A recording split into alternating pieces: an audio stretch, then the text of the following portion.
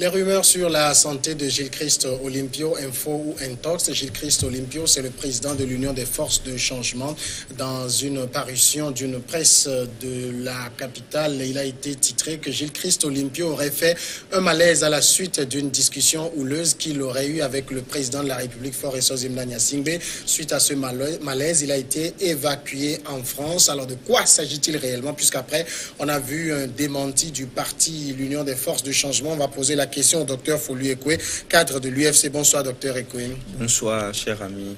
Alors, peut-être pour commencer, euh, je vous demande comment se porte Gilles Christ Olympio? Est-ce qu'il est souffrant? Monsieur Olympio euh, n'est pas souffrant. Hmm. Il se porte bien. Et je crois que euh, pour une personne qui aura 82 ans en décembre, hmm. donc une personne d'un certain âge, hmm. et le terme souffrant ou malade devient très relatif, ou deviennent très relatif. C'est quelqu'un qui se porte bien, il se porte très bien, puisque nous parlons avec lui presque tous les jours. Mm. Et d'ailleurs, il y a cela deux jours, il avait ironisé en disant Mais vous êtes, euh, j'ai appris qu'il fait très, tellement chaud à Lomé, vous mm. êtes sous la chaleur. Moi, je suis là en train de siroter mon, mon beau vin, mon bon vin. Juste pour rire un peu, mm. hein, juste pour rire un peu. Monsieur Gilchrist se porte très bien, très bien. Et je crois qu'il revient bientôt à Lomé et tous les curieux pourront aller le voir à la maison, le saluer et lui demander effectivement comment il se porte. Mais vous savez, si vous permettez, j'ai découvert à travers cette histoire de l'alternative qui fait tellement de bruit sur les médias aussi au Togo, qu'en fait, les gens aiment toujours Olympio. Les gens l'aiment toujours. Même ceux qui euh, font, essayent de, vilipender son mm. nom. En fait, c'est un dépit, c'est pas dépit d'amour, c'est pas mm. de la haine. Vous savez, ça vous serait déjà arrivé quand vous avez rejeté une fille ou une fille a rejeté un garçon, alors que dans le cœur, il y a encore toujours un peu d'amour. Mm. Elle ou il s'intéresse toujours à ce monsieur ou à cette femme, de ce qui lui arrive, lorsqu'il a ou elle reçoit des nouvelles se demande même, mais je veux, savoir, je veux en savoir plus, je veux en savoir plus. En fait, c'est toujours ce grain d'amour qui est resté. Monsieur Gilchrist, il est comme euh, chaque, tout citoyen togolais, mm. chef de parti politique, l'un des partis les plus importants du Togo. Il ne fait pas d'apparition médiatique, il dit rien, il fait ses activités. Et voilà que euh, on sort des trucs sur lui. Je crois qu'il faut, faudrait qu'on revienne même sur le, dessus les détails hein, de hmm. cette histoire. Alors justement, est-ce que c'est vrai, vous le dites, Gilles Christ Olympio se porte bien, mais est-ce qu'il se porte bien après traitement ou il n'a jamais subi de traitement quand il est parti à Paris? Non, Monsieur Gilles Christ Olympio a rencontré ses médecins, comme toutes les fois qu'il quitte Accra ou quitte Lomé pour Paris. Vous savez, il y a des examens qu'il fait périodiquement, des mm. checks. Mm. Il fait des checks. Et quelquefois, s'il est tellement fatigué qu'il il, procrastine. Alors on le lui rappelle. Fais ton examen, il faut faire l'examen.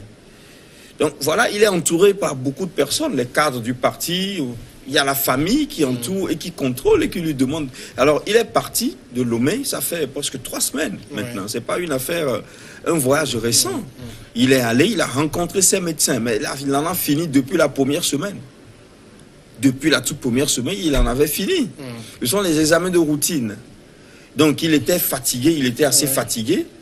Et vous savez, quand il est à Lomé, peut-être ceux qui connaissent chez lui pourront témoigner des va-et-vient qui se font tous les jours. Mm. Il ne fait que recevoir la famille, la politique, les autorités, les gens. Tout le temps, tout le temps, c'est comme ça. Pour un monsieur de 82 ans, je ne sais pas si vous avez peut-être un vieux à la maison, à un mm. moment donné, les gens viennent avec leurs histoires, avec leurs affaires, surtout quand il s'agit des militants ou des sympathisants. Ils viennent, ils ont des problèmes, il faut que le président les aide à résoudre. Vous faites ça pendant sept jours que vous êtes à Lomé, une semaine, deux semaines que vous êtes à Lomé, vous dites, bon, je vais un peu à Accra où je vais un peu à Paris pour voir ma famille me reposer. C'est cela, c'était la fatigue. Et donc, comme il y avait un voyage en, prévision, allez, il faut que je parte maintenant. Il est parti. Alors, j'attire l'attention des, téléspectateurs sur le concept de, l'évacuation sanitaire. Non, c'est exagéré. Et c'est complètement faux.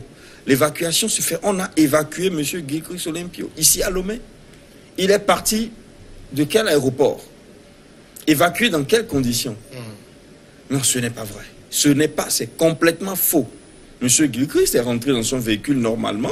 il va à l'aéroport avec son chauffeur qui le conduit, avec son conseiller spécial, M. Isaac Chakwe, et ils vont, ils montent, ils voyagent. Il arrive à Paris, il va chez lui à la maison, il appelle ses médecins qui le consultent. Après quelques jours, c'est fini. Il est là, il se repose. Parce que chaque fois qu'il est à Lomé, vous imaginez ce qui se passe lorsqu'il est à Lomé. Ce n'est pas ça, simple. ça veut dire que cette information, c'est de l'intox. C'est de l'infox, comme disent aujourd'hui les Français. Oui, c'est une information qui n'est pas correcte. Et c'est là où nous nous posons beaucoup de questions.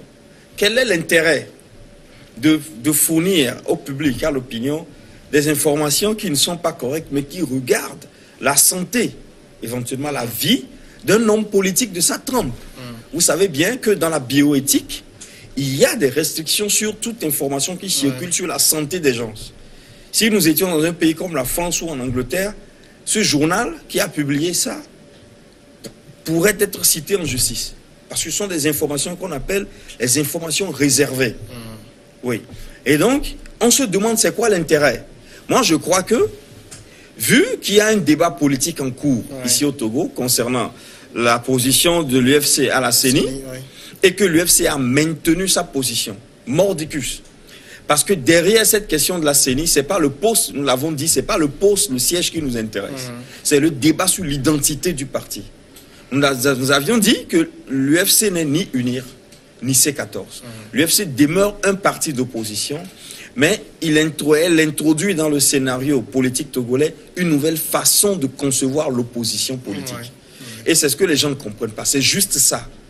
Et donc, un parti comme ça, avec un leader comme ça, il y a un débat en cours et nous voyons des gens qui publient des choses sur sa santé. C'est ce que nous appelons dans la, dans la rhétorique le débat ad hominem ou bien le débat ad personam, qui est encore, qui est encore pire Ouais. ou plus terrible.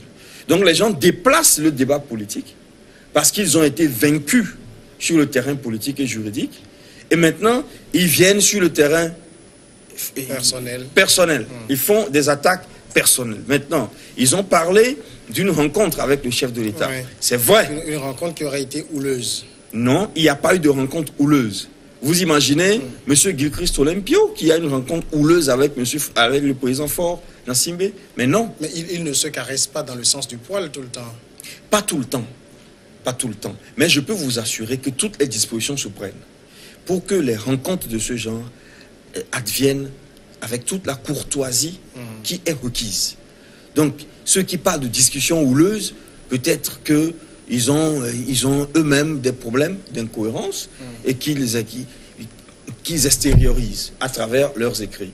Il n'y a pas eu de discussion houleuse. Que si l'on me dit que tous les points n'ont pas donné lieu à un accord, Ouais. je peux dire c'est possible.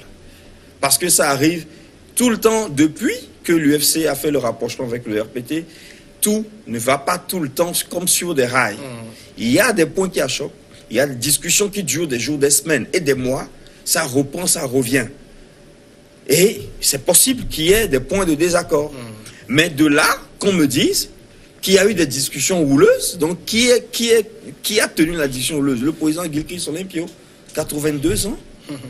Il discutera de façon houleuse avec qui? Avec le chef de l'État Mais non, que les gens arrêtent de, de produire des balivernes et d'intoxiquer la masse. Il y a eu des discussions, c'est vrai. Ouais. À l'issue des discussions, monsieur le président national s'est reposé à Lomé et vu qu'il y a tellement de questions importantes en cours de traitement, il a décidé de prendre quelques jours Ouais. de retrait, de congé, pour se reposer à Paris, mieux réfléchir et revenir.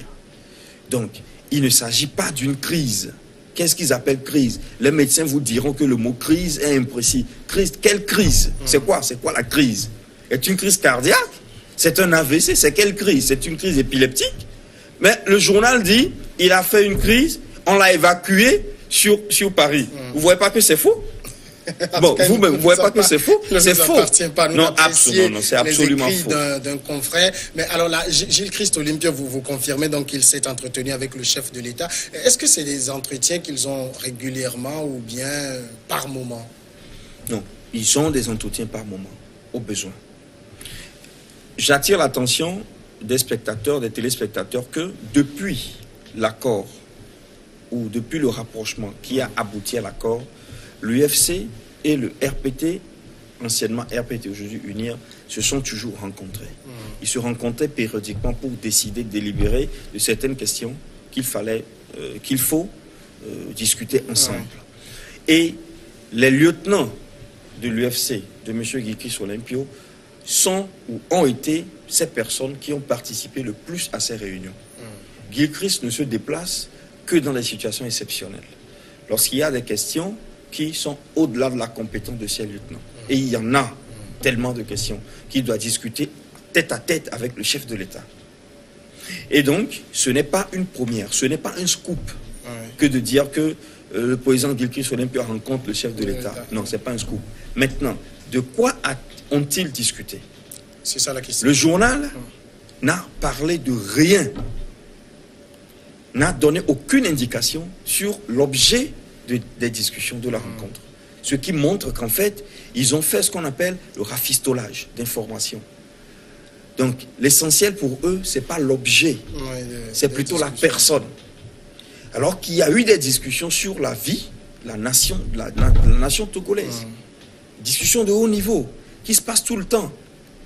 Alors, les réformes, c'est une question importante.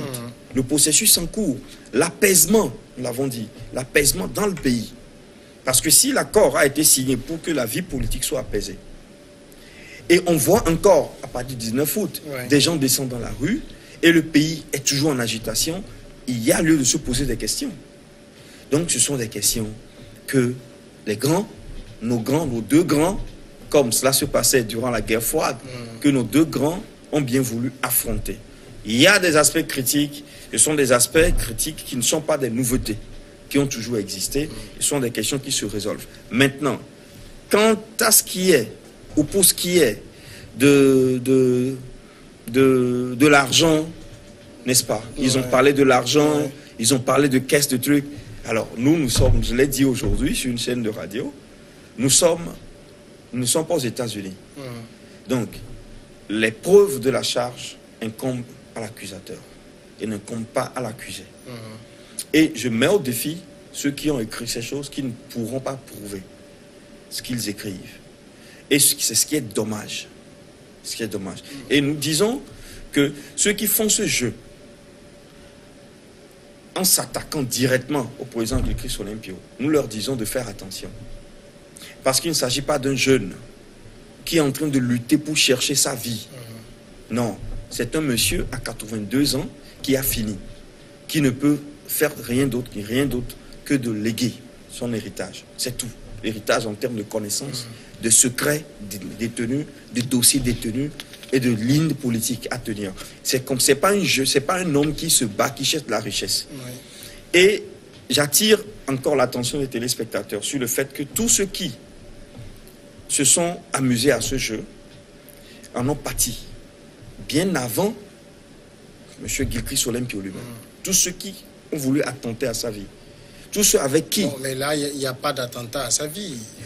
Ah bon, parce Ce n'est que, le travail d'un journal. oui, mais attention, il y a d'abord la dignité humaine. Il y a la moralité de la personne. Parce que l'attaque, ce n'est pas qu'une attaque. L'attaque, il n'y a vous pas vous savez, il y a eu pire que ça dans le pays. On a déjà écrit que le chef de l'État était décédé en Israël. Bien sûr. Non, ça, c'est le maxi. C'est quand on arrive là, on tombe dans la dérision. Mais lorsque on produit un truc comme ça, on salit l'image de la personne.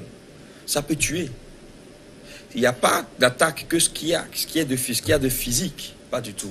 Donc nous, nous disons aux politi- aux politiques de faire de la politique, de laisser tomber les affaires personnelles. Sinon, vous savez, vous prenez un leader comme Silvio Berlusconi, Italie. Qu'est-ce qu'on n'a pas dit sur lui? Il fait les bunga bunga. Vous savez que les bunga bunga sont ces fêtes avec les filles bien bien faites. Tout cela. Mais tous les juristes en Italie leur ont dit mais ça, ce sont des questions qui sont privées. La personne dirige-t-elle bien Fait-elle bien son travail? Qui, M. Gilchrist Olympio, dérange dans ce pays? Mais on, on ne peut pas Qui? non plus s'empêcher, euh, Ouais. quand il s'agit de personnalités publiques, d'aller fouiner dans leur vie et d'écrire des choses, même si cela relève de la sphère, de la sphère privée. Bien sûr, c'est possible et ça se fait. Nous disons seulement que lorsque les gens C'est-à-dire quittent- pourquoi l'UFC, euh, cette euh, information, vraie ou fausse, c'est vous seul qui le savez, vous ne la prenez pas sportivement, simplement. Non, non, non. non. Parce que ce n'est pas plutôt vous qui créez le buzz autour? Non, nous avons, non, non, nous avons tenu euh, une approche qui est très humaine. Parce qu'il s'agit d'une personne. Vous pouviez banaliser aussi. Très âgée, de 82 ans. Que les gens invoquent encore dans des jeux sales de mensonges politiques. Ce n'est pas bien. Si s'il s'agit de contentieux politiques, discutons-en en tant qu'hommes, mmh. adultes. Pas dans ce sens. Pas jusqu'au point de décrire qu'on a évacué la question sanitaire, que M. Grigis Olympio a fait une crise. Parce que non, ça sent pas bon, c'est pas bien. Disons, laissez tomber ces choses. Venez sur le terrain politique et discutons politique. Maintenant, vous vous dites que peut-être c'est nous qui n'avions pas, l'avions pas pris sportivement. Nous l'avions pris sportivement, sinon nous aurions euh, traduit, rapidement traduit le, le, journal, là, la justice, qu'ils viennent, qu'ils apportent les pauvres en même temps, tout de suite. Il ne pourra pas. Il ne pourra pas parce que ceux qui leur ont dit ça, nous les connaissons. Ces gens ne pourront, bien sûr, ne pourront jamais dire ça publiquement. Hmm. Parce qu'ils savent que ce qu'ils disent n'est pas correct il mélange un peu de vérité avec, avec du mensonge. Par exemple, la rencontre qui a eu lieu, c'est vrai, il y a eu une rencontre. Mais après, ils ont tout mélangé. Donc, ils ne pourront pas tenir ça, ce discours, devant le président national, Gilkis Olympique. Ils ne pourront pas le faire. Donc, on ne va pas rentrer dans ce jeu. Nous disons seulement pour que l'opinion sache que ce que ces gens ont écrit est faux. Maintenant, quel est l'intérêt dans tous les pays du monde lorsqu'on spécule sur la santé d'un homme d'État, un politique de son rang Il y a des enjeux politiques derrière. Oui, mais ça se fait quand même aussi dans tous les pays. Vous rappelez le cas, par exemple, de François Mitterrand. On a spéculé sur sa santé jusqu'à la fin. Il a fini ses deux mandats. Il est mort de sa belle mort aussi. C'est vrai, mm. mais il est dû que les intéressés rétablissent la vérité. Mm. Voilà, c'est ce que nous faisons. Nous sommes dans une démarche de rétablissement de la vérité. Alors, si on revient par exemple sur le, Vous dites que Gilles Christ Olympio a bel et bien rencontré le chef de l'État. Est-ce que, entre autres, les, sujets dont ils ont parlé, est-ce que le cas de la question de la CENI a été évoqué par les deux hommes? Non, le problème de la CENI est advenu le lendemain du départ de M. Olympio. Hmm. Donc, ce serait anachronique que l'on soutienne qu'il y a eu cette discussion lors de la rencontre avec le chef de l'État. Non. Alors maintenant, euh, depuis Paris, quelle est sa position à Gilles Christ Olympio Nous avons tenu dans ce pays la position qui est celle de notre président national. Donc, sa position est celle-là que vous connaissez. Nous maintenons notre place, euh, notre siège à la CENI. Nous maintenons notre euh, identité qui est hmm. celle d'un parti d'opposition. Ça veut dire que et nous disons, hmm. oui, que c'est Gilles Christ Olympio qui vous pousse aujourd'hui à faire de la résistance? Monsieur Gilles Christ Olympio donne les instructions, il est opérationnel sur ces questions-là, il donne les instructions claires et directes. C'est de la résistance, c'est vous qui peut-être qui l'appelez ainsi. Alors, quand vous êtes dans un pays où les gens vous attaquent, où les gens viennent, ils disent l'UFC refuse de quitter la CENI. Alors on se dit, mais qui nous a dit de quitter la CENI Pour qu'il y ait refus, il faut qu'il y ait une adresse. C'est ce que nous disons. Personne. Jusque-là, on ne nous a pas demandé de partir. Personne, ni la coalition, ni le gouvernement, ni la facilitation. Pourquoi vous êtes tombé dans ce jeu de vouloir justifier que vous êtes euh, un parti d'opposition ici et ça, alors que rien ne vous a été demandé comme Justement, c'est cela. C'est ce que les gens ont reproché à l'UFC pendant dix ans. Hum. Le mutisme. Parce que d'autres font de la publicité, de la contre-communication contre nous. Hum. Et cette fois, nous sommes dit, dès que des gens sortent et racontent des banalités, nous allons sortir pour rétablir la vérité ce n'est pas un jeu que nous faisons. Pas un jeu. Et l'enjeu derrière toutes ces sorties, c'est l'identité politique de notre parti. Ce serait dommageable qu'après huit ans de la scission qui a donné naissance à l'NC, les gens de l'NC continuent de dire à ce peuple que l'UFC est unir. Mm. Ce serait dommageable. Ils l'avaient fait en 2010, 2011, 2013. Ils feront plus ça cette fois impunément. Impunément, c'est-à-dire sans réaction de notre part. Vous, aurez aussi pu simplement laisser faire, parce qu'on est sur un terrain politique, c'est de la communication politique, et vous aurez pu laisser faire, laisser peut-être cette information mourir de sa belle mort du moment où personne ne vous a dit de partir, comme vous le dites. Non, on, peut ne rien dire, mais de fait, les cinq places qui reviennent à l'opposition parlementaire seront toujours libres. Mhm. Il y aura donc le blocage qui se crée du fait de notre maintien fera toujours actualité. Mm. Donc il va falloir à un certain moment que l'UFC aille expliquer à l'opinion les raisons du maintien de son représentant à la CENI. C'est normal, c'est ordinaire. On ne peut pas ne pas communiquer dans une telle situation. Et nous avons profité de la conjoncture mm. pour expliquer aux gens ce que c'est qu'un parti d'opposition au Togo après 2013. Je crois que beaucoup de partis ont subi cette cabale de la mm. part de la C14. Mm. Nous avons rencontré presque tous les leaders de la C14 parce que leur discours, c'est que c'est eux les opposants. Mm-hmm. Eux, ils s'arrogent le droit de décider qui est opposant mm-hmm. dans ce pays. Ça fait un peu rire parce que ce n'est pas à l'homme de se rendre justice.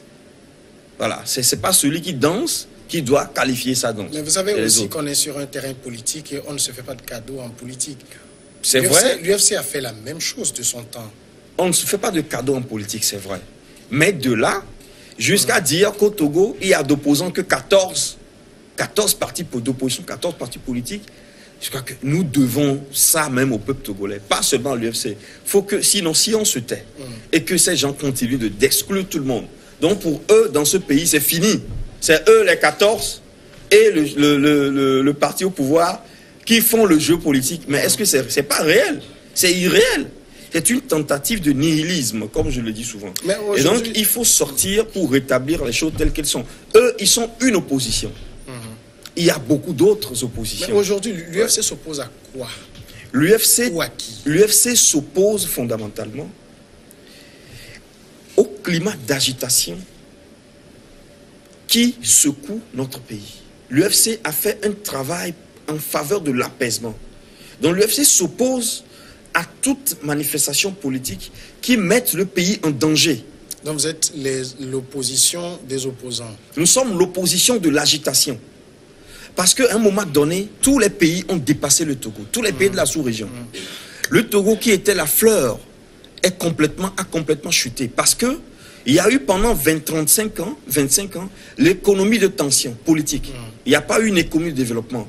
Alors à un moment donné, nous sommes dit non, il faut apaiser la vie politique au Togo. Et donc, les gens qui se lèvent et qui créent du bourrara, du désordre dans le pays, de fait, ils sont opposés à notre nouvelle vision idéologique. Parce que nous, nous disons que même ceux qui veulent l'alternance, ils doivent se rendre compte que l'alternance au Togo ne peut advenir que dans un climat de paix et de sérénité. Parce que le changement, oui, mais quel changement? Par qui et quand? C'est cela. Donc nous, nous faisons un discours, une réflexion sur la qualité du changement que nous voulons. est-ce que ça veut dire que votre adversaire, ce n'est pas le pouvoir? Notre adversaire, aujourd'hui, c'est tous les partis politiques sauf nous-mêmes. Donc il y a l'UFC et il y a les autres. Maintenant, avec certains, nous avons des accords et notamment avec le RPT, parce que nous avons fait la guerre avec le RPT pendant des années. Mm. Une guerre qui a embrigadé tout le pays. Nous sommes dit, non, écoutez, même si nous vainquons cette guerre, nous, nous finissons par vaincre cette guerre avec le RPT. Et le RPT, comme parti politique, et toutes ces structures, est enterré. Vous n'avez plus rien. Il n'y a plus rien. Ce sont des frères. Nous sommes tous des frères dans ce pays. À un moment donné, il faudra qu'on fasse la paix avec ceux avec qui on a fait la guerre. Au moment où l'UFC prend cette décision capitale pour l'histoire du Togo, pour apaiser le jeu politique et permettre à ce qu'il y ait des réformes, c'est-à-dire les règles du jeu politique, pour qu'il y ait une alternance normale, on voit que d'autres personnes se lèvent et reprennent les mêmes méthodes de la guérilla, de la contestation. De l'autre, les gens sont morts. On a perdu, les Togolais ont perdu leur vie. Pourquoi? À la fin pour quelle raison? Depuis le 19 août. Pour quelle raison? Pour les réformes. Si c'est juste pour les réformes, les réformes se font au Parlement. C'est pourquoi C'est pour faire des élections législatives en décembre 2018. Depuis 2010, cet accord que vous évoquez existe. Cette alternance que vous dites est en train de, préparer dans la paix euh, n'est jamais advenue. Elle, elle adviendra. Je suis certain. Vous allez garder le film de cette, euh, de cette émission et lorsque l'alternance viendra, vous, vous rejouerez ça au peuple